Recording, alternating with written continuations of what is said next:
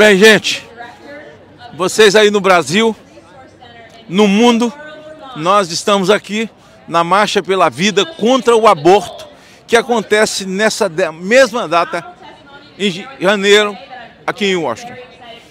Para mim é uma emoção muito grande, é a segunda vez que eu estou aqui. E aí eu lembro da Suprema Corte do meu país, que está legislando sobre a vida aquilo que não lhe é devido. A vida começa na concepção. Infelizmente, a relatora da matéria, ministra Rosa Weber, eu no meio de um povo do mundo inteiro que preza a vida no nascituro e que condenam o assassinato de pequenos. Ela faz um voto antes de se aposentar e ela que quando foi sabatinada no Senado ao falar sobre o ativismo da justiça, ativismo judicial. Ela disse que se juiz quer fazer política, que tire a toga e vai disputar a eleição. Mas ela fez questão de se aposentar dando o voto dela. Ela disse que a mulher não é obrigada a ter filhos. É claro que não é obrigada a ter filhos, mas não ser obrigada a ser filhos não autoriza ser uma assassina. Assassinar uma criança, uma vida no útero. É emocionante ver como a injustiça no mundo, a mortandade imposta através do aborto. E nós somos de um país, o Brasil, que é majoritariamente cristão. Um país de católicos, de evangélicos, de espíritas, e repudiamos o aborto. Nós somos o nascituro. E quero dizer a você que é abortista, você nasceu, então os outros podem morrer.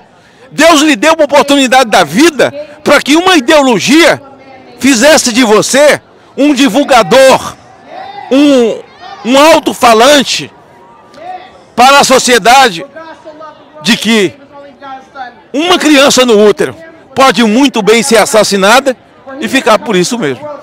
Nós vamos continuar lutando, porque eu nasci. Sem nascituro não tem escola. Sem nascituro não tem autoridade. Sem nascituro não tem juiz, não tem Suprema Corte. Sem nascituro não tem quem planta, não tem quem colhe. Sem nascituro não tem nada. É só o vazio no vazio. Nós cremos na vida. E vendo milhares de pessoas do mundo inteiro que falam a mesma coisa.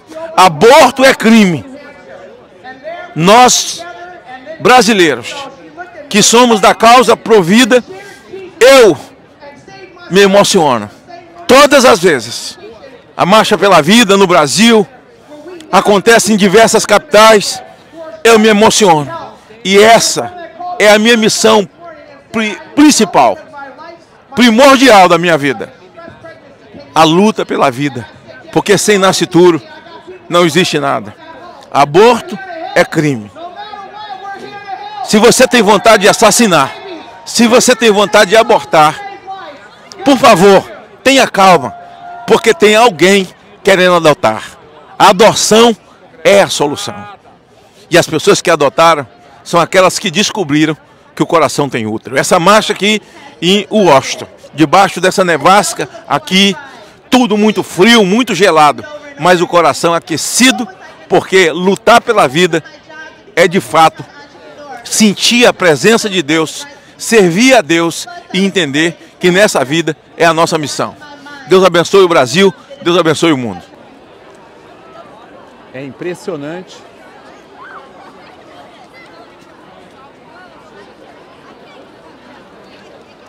Muita neve. Agora, podemos dizer literalmente que a gente está debaixo de uma nevasca aqui em Washington. E a quantidade de pessoas é impressionante.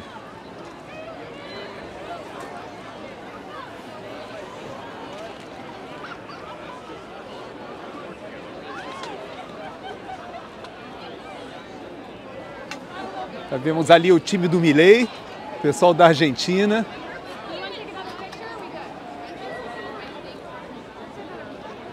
E vai embora.